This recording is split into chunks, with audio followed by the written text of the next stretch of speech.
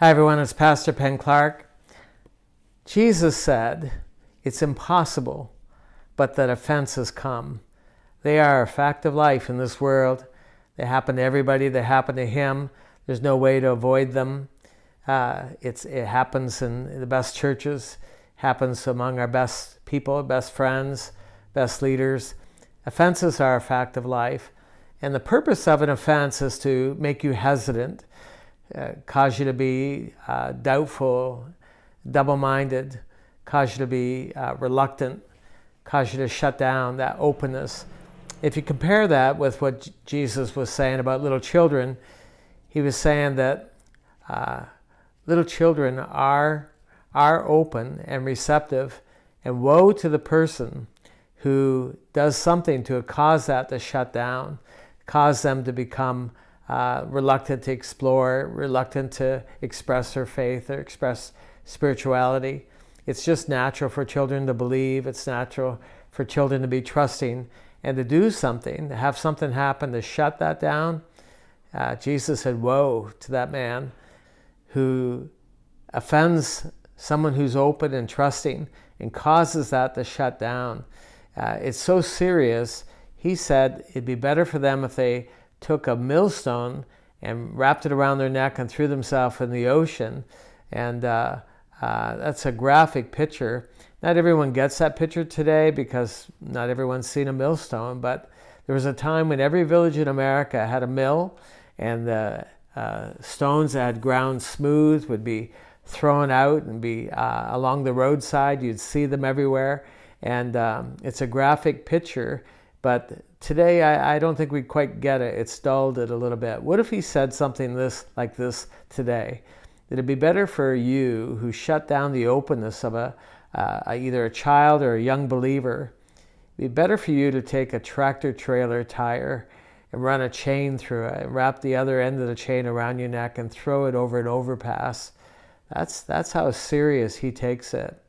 And so it happens. Offenses happen. And um, there's almost like two levels to it. One is that ultimately it's the enemy who's wanting to shut us down. He wants us to be tentative. He doesn't want us to explore by faith. And so he's behind it, but he uses people like pawns. And probably the best example of it, one of the clearest examples of it, is Jesus was telling the disciples how he was going to be going up to Jerusalem. Uh, the elders or the pastors of the of the community were going to arrest him, uh, uh, abuse him, spit on him, reject him, and kill him. And Peter stepped in front of Jesus and turned him around and said, uh, Not so. This is not going to happen. Jesus looked at Peter but spoke to the devil and said, You are an offense to me. Get behind me, Satan. You're an offense to me. And, and it's just one of those examples of someone who's close to us, someone who has proximity to us, who's being momentarily used by the devil to offend us. And Jesus didn't reject him to the point where he, he didn't say, You're off the team, you're no longer in my life. Uh, he understood that offenses happen. The problem with offenses is once you've been, once mistrust has, has occurred, it's really hard to start that up. For some people, it's so much work that they don't even bother to believe the Lord to get it restarted. But what happens is we become guarded. And um, uh, when we've been offended by a person or a church or a place, uh, anytime we have an association with that person or with that place, it causes us to shut down again. And if the enemy knows that he, what it takes to shut you down. You can believe this, he'll keep pushing that button. He'll keep you shut down. Because Jesus said, unless you become like a little child, you can't enter into the kingdom. He's not saying you can't go to heaven, He's, but there's a lot to the kingdom before we get to heaven. It's where our spiritual life is, it's where the power is, it's where uh, the gifts are, it's where the, our purposes uh, lie. And it, He's trying to keep us out of being used by the Lord. Keep us away from people. Keep us away. Keep us from being under authority or going to church.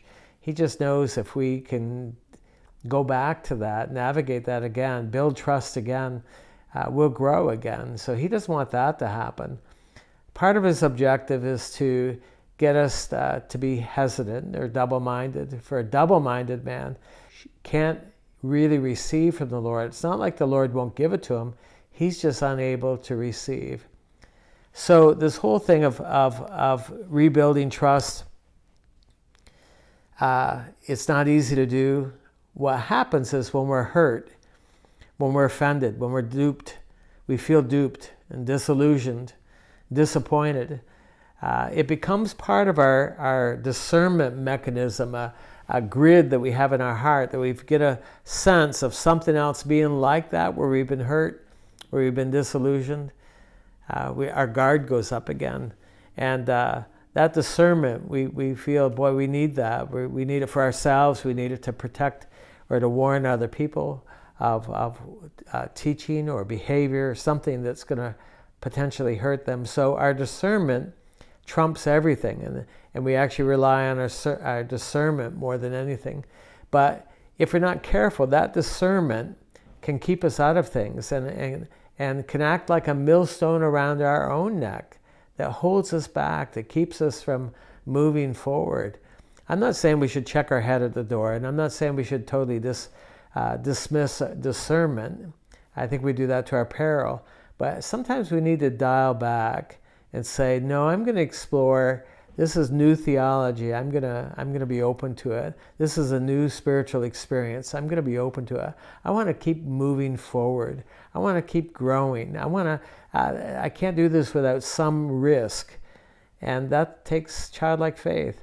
And that's what God wants to see restored. And our goal for the rest of our life is to cultivate childlike childlike faith, childlike openness at the risk of being disillusioned and disappointed again. Jesus knows that there are fences. He knows how we're going to react to them, so does the enemy.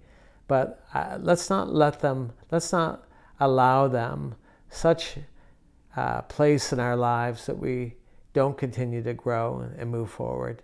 We're going to need to trust the Lord. Amen.